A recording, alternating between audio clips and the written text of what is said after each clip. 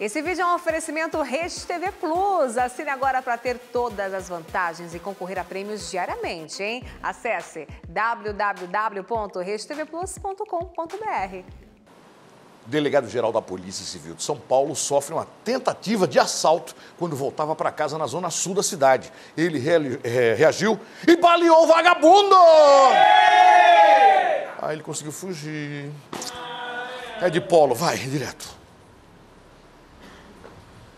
Oi, Siqueira, o doutor Rui Ferraz Fontes é nada mais, nada menos do que o delegado-geral da Polícia Civil aqui de São Paulo. Ele estava voltando para casa, isso aconteceu no bairro do Ipiranga, mais precisamente na Vila Tereza Cristina. O delegado parou no semáforo, viu o vagabundo chegando, experiente como né, a gente sabe que é, ele viu, quando chegou próximo do vidro armado, o delegado não pensou duas vezes, disparou duas vezes, na verdade, contra esse marginal. O tiro, um dos tiros, ele atingiu o marginal, um desses tiros atingiu a boca é, deste bandido. A gente sabe disso por quê? Porque hoje é, o Serviço de Inteligência da Polícia Civil acabou divulgando essas imagens para o Alerta Nacional. São dois vídeos que mostram exatamente o bandido fugindo na Avenida Tereza Cristina com a mão próxima ao rosto. E nessa imagem que nós, é, possivelmente você deve estar olhando já aí, Siqueira, é a imagem do posto de gasolina próximo onde aconteceu, ele passando com um pano branco na altura do rosto, conversando com funcionários desse posto de gasolina, com o próprio é, proprietário também desse estabelecimento, eles me disseram exatamente que ele está com rasgo, né? Apareceu com rasgo na boca o tiro, então um desses tiros atingiu a face é, desse marginal, por isso a polícia agora está divulgando na expectativa até mesmo de conseguir chegar a esse bandido, por quê? Porque o delegado é, de polícia, ele já vem sendo ameaçado pelo crime organizado que age aqui em São Paulo, Siqueira.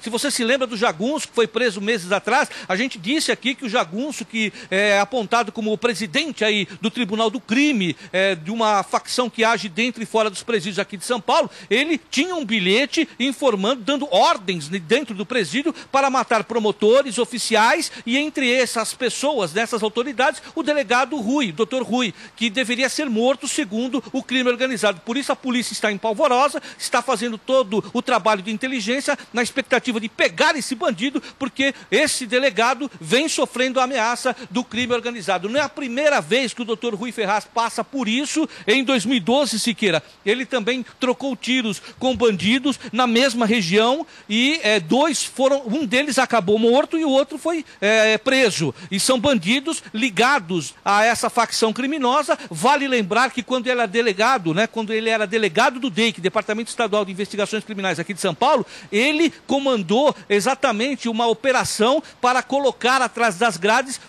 chefões do tráfico, chefões do crime organizado. Por isso, a polícia está em expectativa muito grande, porque o delegado geral sofrendo uma tentativa de assalto é para se pensar, é para se estudar. Graças a Deus ele está bem, é, a arma foi periciada, o carro já foi levado também para a perícia e o delegado agora é, é, pretende aí, junto com a sua equipe, prender esse vagabundo que tomou um tiro no rosto e fugiu no assalto no bairro do Ipiranga. Valeu, Siqueiro. Qualquer novidade sobre essas, né, essas investigações, a gente está é, diretamente ligado com o Serviço de Inteligência da Polícia Civil e a gente, se tiver novidade, eu, eu trago hoje, se não, durante a, o programa aí, na semana. Valeu, Siqueiro. Um forte abraço, até amanhã.